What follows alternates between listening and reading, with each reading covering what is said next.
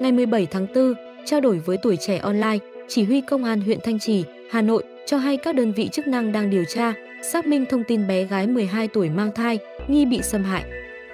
Trao đổi tuổi trẻ online, anh DNA ở Thanh Trì, Hà Nội cho biết từ ngày 6 tháng 1, anh nhận thấy bụng con gái tên Y, sinh năm 2012, có to dấu hiệu bất thường nên đưa con gái đến bệnh viện kiểm tra.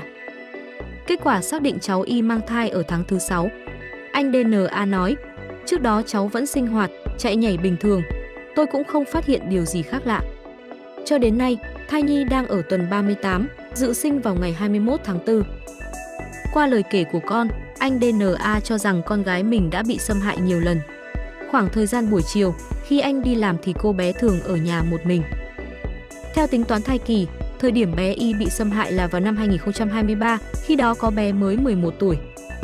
Gia đình anh A sau đó đã trình báo công an xã Tam Hiệp, huyện Thanh Trì. Đội nghiệp vụ thuộc công an huyện Thanh Trì cũng đã cử cán bộ điều tra xuống lấy lời khai. Tuy nhiên đến nay gia đình anh DNA chưa nhận được kết quả giải quyết đơn tố giác tội phạm.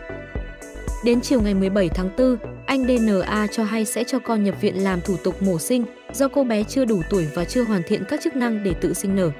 Hiện bé Y cũng đã được tạm thời cho nghỉ học để tránh gây điều tiếng và ảnh hưởng tâm lý.